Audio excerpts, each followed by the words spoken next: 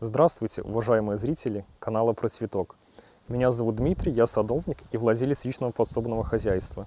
Сегодня я расскажу вам, как, применив нехитрые способы, облегчить свой труд в саду. Первый способ. Как быстро почистить фасоль. Разлузгивать каждый стручок – это очень хлопотно и долго. Э, и тем более повреждаются руки. Как же ускорить этот процесс? Необходимо взять обычный мешок, стручки фасоли и полено. Засыпаем стручки в мешок, берем полено и стучим по нему. Зерна быстро выпадают из стручков, легко достается мусор. Вот и очищенные зерна высыпаем в ведро, либо в какую-то другую емкость. Конечно, могут там оставаться небольшие фракции э, растительного мусора, но все это легко можно выдуть на ветру и получить чистые зерна. Вот. Такой способ подходит, если у вас очень большой объем фасоли э, и хочется побыстрее э, сделать работу. Вторая садовая хитрость. Как сделать ровные рядки на грядке? Я применяю обычный скребок. Это металлическое э, изделие на палке. Вот, чем-то напоминает тяпку, но имеет немножко другие габариты. Вот, таким нехитрым инструментом очень легко делать рядки. Берем скребок, ставим его вертикально и проводим ровно рядок. Потом ставим его горизонтально и проводим второй. То есть после каждого рядка отмеряется ровное расстояние. Не нужно использовать каких-либо рулеток, веревок. Получаются ровные рядки. Вот. Э, можно также и регулировать и глубину рядка. Просто следует немножко сильнее нажать на палку.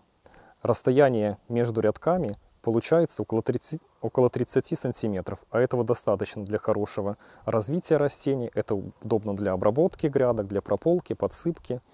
Поэтому всем рекомендую сделать э, такое изделие. Садовая хитрость номер три. Каждый год мы приобретаем много различных растений. Высаживаем их на грядки, в школки, в цветники. Но со временем забываем их название. Как же все запомнить?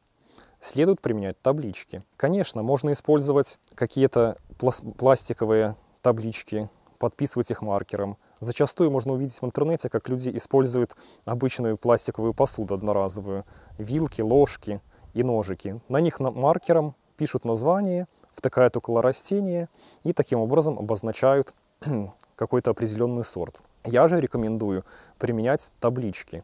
Таблички можно изготовить из обычной пивной банки. Ножницами разрезаем банку, берем обычный гвоздь или шило, что есть под руками, и нацарапываем название сорта.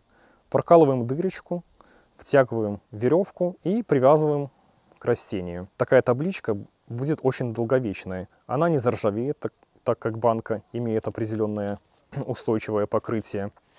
Вот. Надпись не выгорит, потому что она нацарапана. Это очень удобно. Всем рекомендую. Садовая хитрость номер 4. Если вы хотите вырастить много сортов томатов, а мест на подоконнике у вас не хватает, для этого есть один действенный способ. Можно высевать томаты на зиму. Да-да, именно на зиму. Причем можно использовать целые плоды томата. Для этого в теплице, а можно и на улице, выкапываем небольшие ямки глубиной 15-20 сантиметров и ложим туда плод томата присыпаем землей, сверху мульчируем листьями и все, и ждем весны. Как только приходит весна, на улице тепло становится, вот, а в теплице это очень рано происходит, а, нужно убрать мульчу, подрыхлить сверху почву и накрыть спанбондом.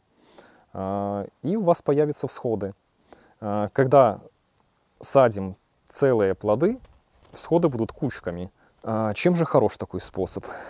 Он дает не только экономию места на подоконниках, но еще томаты, выращенные таким способом, получаются крайне устойчивыми к заболеваниям, э, к погодным условиям, к климатическим условиям. Они обладают очень сильным иммунитетом.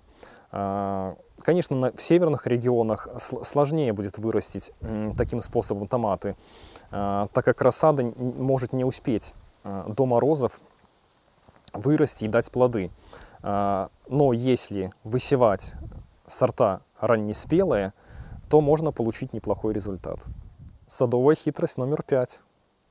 Зачастую у нас на участках появляются слизни. Хоть у меня они и редкие гости, но все же могут повреждать урожай. Я применяю ловушки-домики для них. Использую обычную трубу, которая осталась после стройки. В них насыпаю отраву от слизней, например, слизнеед. Трубку помещаю на грядку и оставляю ее там. Слизни залазят в трубку, так как туда не попадает солнце, они чувствуют там себя очень комфортно. Вот, они поедают эту отраву и умирают.